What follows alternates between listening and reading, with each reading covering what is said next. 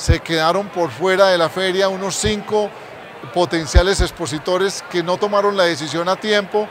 y toda el área disponible de este pabellón amarillo de Plaza Mayor está ocupado por todos los más de 105 participantes y expositores. Eso significa un voto de confianza en el sector, en la oferta y que el espacio ya se queda corto para la oferta y el compromiso de los empresarios de querer contribuir con la región, con la oferta de vivienda, con edificaciones no,